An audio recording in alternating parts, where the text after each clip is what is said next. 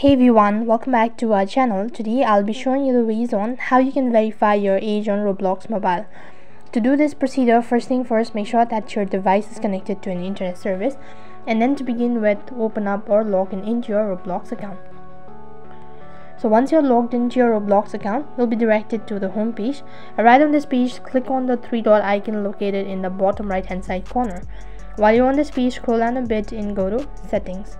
Once you're on the settings page, go to account info. So to verify your age, you'll be taken to the account info page. Over here, you'll be able to see all of your information regarding your account.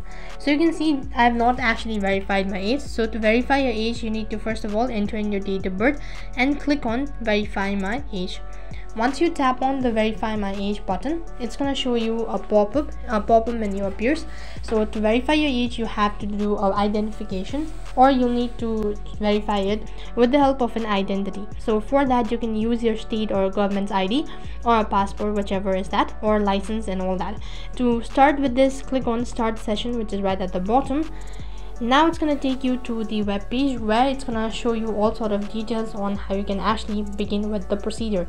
So what you have to do is basically to verify your age you need to go through the list of information and click on begin verifying. So after that you need to place your id on the plain background. You need to take a clear picture of your id once the photo has been taken it's going to scan it and uh, accordingly you'll have to wait for 24 to 48 hours in order to verify the id so till then you have to wait patiently and that's how you can verify your age on roblox. So that is all for this video. I hope the video was helpful. Make sure like share and subscribe to our channel.